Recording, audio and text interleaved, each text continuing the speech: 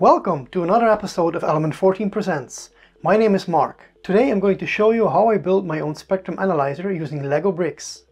That's right, Lego.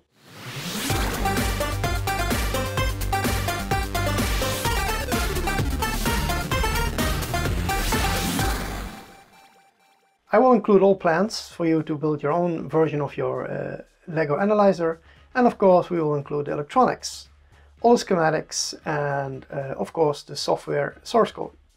So you can do your own modifications and you can build your own version. Let's get started. Is this going too fast for you? Don't worry, I'll include all the building plans, so it's easy for you to reconstruct it later. No need to pause the video at every frame. Now we're almost done, we just need to add the back frame. The back panel that we assembled earlier just fits right on here. And then all we need to do is close it up, only to open it up later again to put in the electronics. Well, of course, the schematic is included, but just let's let us take a closer look. The most important things are is the analog front end, uh, which are basically bandpass filters uh, for each and every uh, frequency band. Uh, so I have 10 of those. We have a preamplifier for a microphone and a, an audio in, a line input with a digital switch so we can select which one we're going to use. Uh, we have of course a microcontroller. Then I added a multiplexer because I want to be able to uh, select different uh, inputs because each and every band filter has an output that I want to read and I didn't want to use all the analog inputs, so ports, because I just use the multiplexer and have it to one input. Then the ESP is basically the digital part, of course. Um, what it does is I sample my analog input and convert that to a, a readout on the LED bars. And of course, we have the user interface. Not that spectacular. It's three potentiometers and two switches we also have a power supply. You can feed it with uh, 12 volts. We have a fuse, we have two protection diodes, and of course we have a regulator that turns the 12 volt into 5 volts. So for soldering these small components you need a very fine tip. Let me show you exactly what I'm using. It's a very tiny. So let's start with the integrated circuit. Just one of many. And before I put it on, without using a stencil to apply soldering paste, you need to solder one by one. And what I like to do is first I apply some tin to one corner, then I put the component in place where I want it. And then I solder the rest of the connections. And of course, this will work, but if you have a lot of components, it would be better to uh, order a stencil next time but I forgot to do that so oops. And yeah you do need to clean it up with some sort of some flux cleaner. I think James did a very nice video on uh, flux cleaning and he tested several products and you can take a look at that video if you want. And it might look like I'm putting on components randomly but actually I'm using a very nice silicone mat under my microscope and it has all these little compartments. So I put each and every component in the compartment and they're numbered so that helps me a lot and then I already soldered like 10 of these boards so I'm quite familiar with the setup let's see 13 although if you have a, a, a hot air uh, gun and you have soldering paste or a dispenser you could dispense soldering paste on each and every island and then uh, use uh, hot air. That's how I prefer to do it, but I don't have the tools here. But if I assemble uh, bigger boards or uh, boards with more components, I buy them pre-assembled or I use a hot air gun to solder all the components on equally. However, this is going to take up a lot of time, time we don't have right now. So let's just uh, skip ahead. So ahead of time, I have the board completely assembled. As you can see, it has uh, many components. Uh, this one has been done with a hot air gun. How you assemble it, of course, is totally up to you. We still need to add some through-hole components to the board and we need to separate the control interface from the main board. So there are some breakout tabs you can just carefully it off and then we need to put all the components in place. We have some potentiometers and we have to put in the switches and solder all in place. But sometimes things are just too big for the microscope, so let's put that aside. Bigger things you don't need the microscope, so I put it aside quickly. I'm going to solder on these potentiometers and for that I'm going to switch to a bigger tip. And there we have it our very own interface board. So let's take a closer look at the completely assembled board. We have the ESP32 we have a fuse some connectors and some potentiometers to make some adjustment if needed. One is for the microphone input, one is for the line in, uh, input, and the other two has to do with the um, acquired data before it goes to the microcontroller. You can look at the schematic for more details. Basically, all we need to do is connect these two and connect the LED strips and create some light input or microphone input and we're, we're good to go. So let's put this in the housing. Now it's time for us to put in the electronics. For that I'm going to remove the whole light tower like so. Because the way I constructed it is easy to insert the electronics. We can just remove these two plates and if necessary this one and we will be able to put in the electronics. In regard to the, the tower, it's easy to simply remove the back wall because that's also the way I constructed it. That way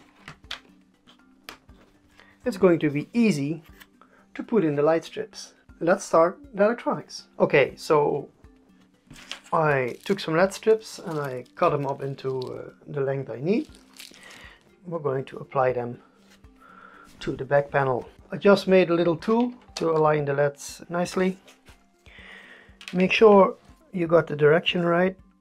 Okay, after you completed the PCB by adding the through-hole components, you insert the ESP32 controller board and then you need to connect the panel, the user interface, before we can mount everything in the housing. And that's just going to be a one-on-one -on -one soldering. That means pin one of the controller board goes to the pin one of the main board. So we'll start with the blue wire. Once you connected the user interface to the main board, we can put everything in a housing. Well, the main board just goes into the housing and we use a little Lego plates to keep it in place and it's just something that prevents it from falling out. And of course the user interface goes to the front. So we can just operate it here. So we hooked up the front panel the user interface uh, and the microphone and we're going to use a USB a power cable Although uh, the PCB has an onboard power supply and you can use you can feed it using a power adapter. Um, but for now I'm just going to stick with the, the USB cable. I'll already plug it in here like so. And at the back you can just uh, feed through any power cables or audio cables or whatever you want because it not only does it have a microphone input it also has a line input that you can use and then it's time to put everything together. So now the light tower is in place. It's time to uh, put the back plate in place, which is not going to be hard at all because everything is pre-wired, like so. And all we need to do now is put the little plates on top. Now all that's left to do is to connect the, the LEDs and the LED strips to the main board. Are you an engineer, electronics hobbyist or maker? Join the Element 14 community where you can learn about new products and technologies, see cool projects and connect directly with the people that make the products and engineers that use them. Join now! It's time to look at Arduino Sketch, the, the source code of the analyzer. It's not that complicated, although it has some advanced functions, but I put comments in the software um, where it's important you can just read the, the, sketch and see where it takes you. And if you have any questions feel free to ask them at the community. We'll put the link uh, below. You can decide to uh, compile and upload the sketch using the Arduino IDE or you can use uh, web browser programming.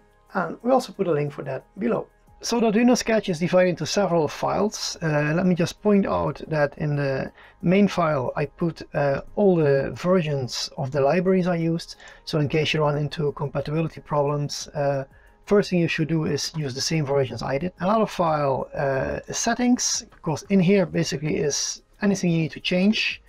Uh, you can change the matrix height, the matrix width in case you're using uh, different LEDs.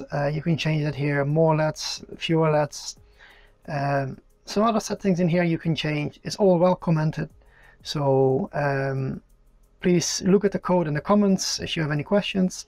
And of course, also defined here are all the colors. So if you want to change the way things look, if you want to change red to yellow or blue to red or whatever, this is the file uh, to look for and do the changes. There's another thing in here. Um, this analyzer comes with a, a, Easter egg, a hidden feature, because basically it also has a web server, which is the web stuff. You don't need to change it. I'm just pointing it out.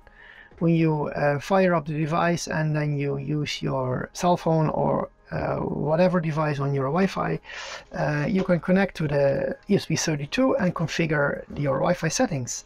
After that, you can just have uh, live access to the analyzer data. So you can use your web browser to have another audio analyzer on your desktop. If you want to know what that looks like, uh, you should take a look at uh, one of the previous videos I did. We put a link below. First thing you need to do is uh, compile. And of course, you need to select the right microcontroller. Uh, we're using the ESP32 DoIT DevKit 1.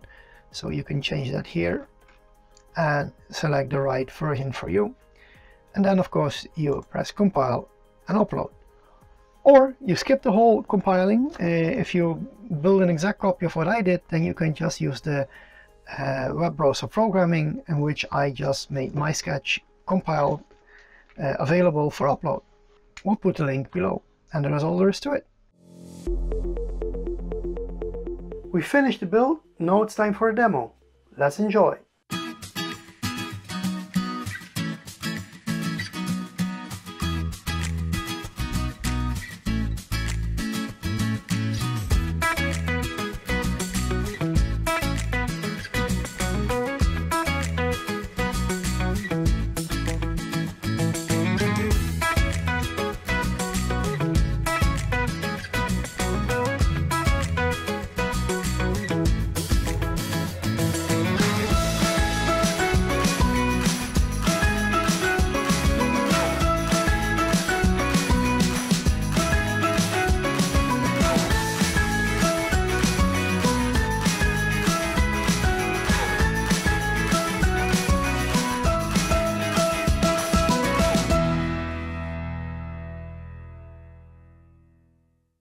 This is all I got for you today. Uh, I hope you enjoyed it. And remember, if you're going to build your own housing using Lego bricks, possibilities are nearly endless. I love to see what you've built and what you come up with. Please show us at the community. We'll put the link below. And if you have any questions or you want to share some information about things you build, you can leave a comment at the community and I'll do my best to answer each and every one of you. For now, I wish you all the best. Until next time.